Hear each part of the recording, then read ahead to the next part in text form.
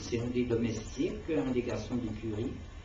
Et euh, on voit que déjà Toulouse-Lautrec est curieux d'un mouvement qui se développe euh, à ce moment-là à Paris, qui privilégie la peinture claire. il est déjà sensible à l'impressionnisme. Le personnage est très bien campé et j'attire votre attention sur le sol euh, qui est interprété avec une gestuelle très dégagée. Euh, pour un jeune peintre, être capable de barbouiller comme ça, euh, c'est signe d'un bon tempérament. Le, comte et la comtesse de Toulouse ne voudront pas que leur fils en reste à de la peinture d'amateur. Et euh, en termes de standing, ils vont l'envoyer chez le grand peintre de l'époque, Léon Bonnat.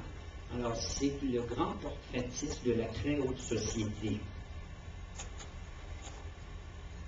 Alors, pour euh, être portraituré par euh, Léon Bonnat, faites-vous recommander par un général, un ministre, un ambassadeur, et alors, mais seul, mais alors seulement, M. Bonnat consentira à vous peindre debout, raide comme un piquet, brillante comme du cristal et éclairée par en haut. On a ici Bonnat en train de faire le portrait de la super vedette de l'époque, Victor Hugo lui-même.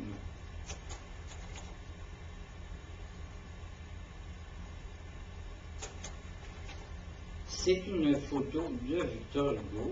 Pardonnez-moi si je vous sens irrespectueux, mais j'aurais tendance à interpréter cette photo par la petite phrase une Tylénole avec ça.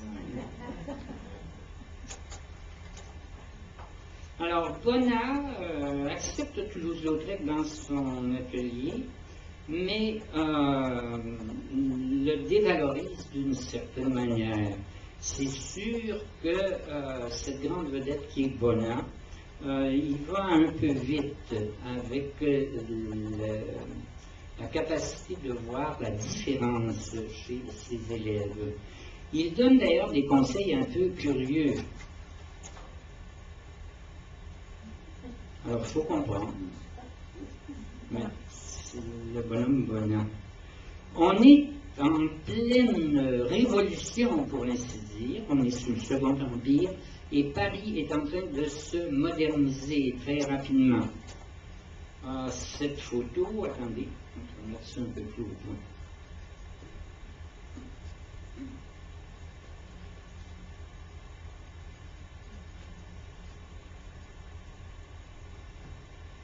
Ah, cette photo nous donne à voir le chantier du nouvel hôtel Dieu euh, que fait construire le baron Haussmann en rasant des quartiers qui étaient encore médiévaux près de Notre-Dame.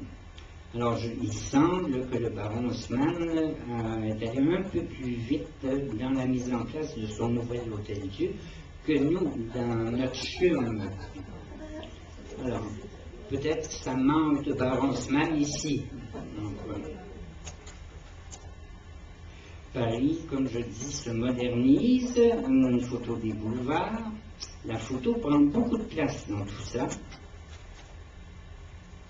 Elle est relativement récente, euh, la photographie. Alors, euh, les peintres vont déjà, les peintres les plus curieux, vont déjà s'y intéresser. Entre autres, on sait que nul autre que le grand Eugène de la Croix euh, se permettait de travailler des nus à partir de photographies, ce qui réglait d'ailleurs son problème de timidité avec les dames. Le premier cliché,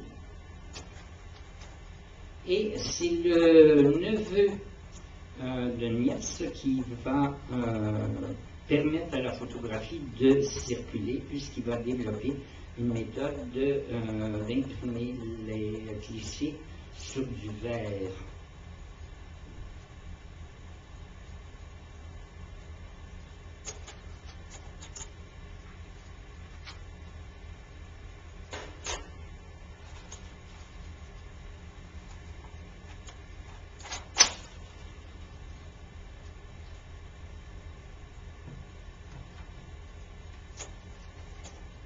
Mais celui qui va vraiment euh, révolutionner la circulation des images de la photographie, euh, c'est Daguerre. D'ailleurs, euh, probablement que vous avez, si je me fie à l'âge moyen ici, vous avez peut-être vu dans les traîneries de vos grands-parents des daguerreotypes sur métal, des trucs tout bruns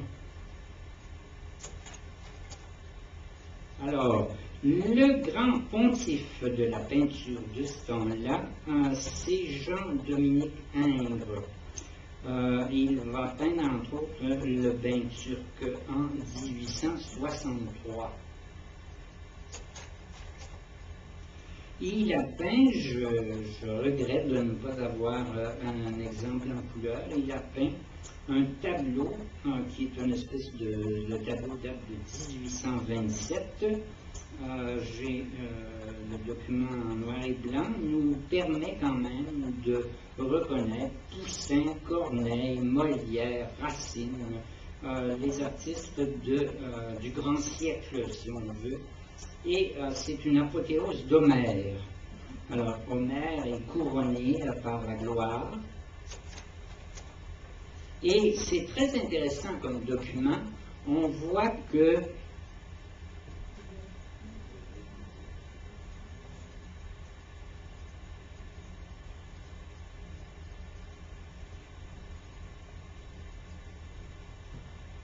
voit que Degas se sert de la photo pour critiquer euh, Ingres alors, il se, se présente en apothéose d'Homère lui-même. Alors, encore là, la photo aura servi euh, euh, à, parler du peintre et de la peinture. Un des personnages importants là-dedans, euh, c'est sûr que c'est la figure d'Édouard Manet, euh, c'est la figure dans laquelle se reconnaissent les jeunes peintres un peu plus audacieux. Un tableau fameux qui a été peint euh, en 1863, euh, en la même année que le bain turc, c'est la Grande Olympia. On en parlera un peu plus longuement.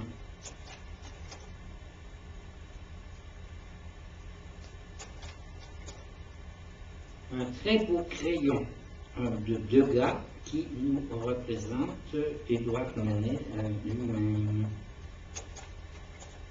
Alors Degas va être invité par les jeunes compagnons de l'atelier de Bonnat, les jeunes compagnons de Toulouse-Lautrec, à venir visiter euh, l'atelier de Toulouse et euh, Degas va émettre ce commentaire qui est un. C'est pas ambigu en fait, mais il faut être dans le coup.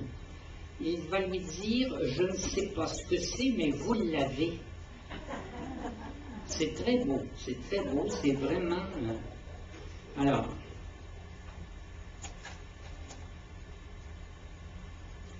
On a deux là.